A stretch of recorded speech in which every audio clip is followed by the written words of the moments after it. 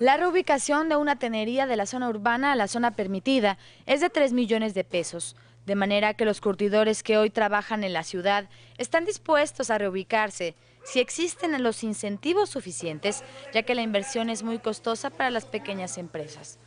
El recién anunciado Ecoparque Industrial Curtidores es una opción viable, sin embargo, apenas el proyecto está en pláticas con los involucrados. 3 millones aproximadamente, terreno y, y finca. Tendrán que ser más o menos de este tipo los apoyos. Efectivamente, efectivamente, mínimo. Estamos hablando de una infraestructura chica, ¿verdad? Entonces, pues está, está lejos de nuestras manos ahorita. La ubicación del parque a un costado del conocido Parque Piel incluye más de 18 hectáreas de terreno y la promesa de créditos con bajos intereses. Aún así, los pequeños curtidores señalan que les han dicho la obligatoriedad es comprar un terreno de mil metros. En promedio, el precio que ofertan es entre 600 y mil pesos el metro cuadrado. La petición es que el proyecto sea serio y no quede en promesa como otros ofrecimientos en el pasado.